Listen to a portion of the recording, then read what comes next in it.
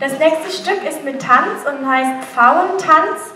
Dieser aus Westjava Tanz wurde von den Bewegungen eines Pfaus inspiriert.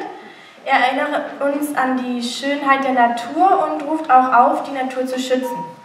Danach spielen wir Zapingunung und dieses Lied ist ein trauriges und zwar ist es eine Mutter, die auf ihren Sohn wartet, der noch im Krieg für das Land kämpft, um das Land zu verteidigen.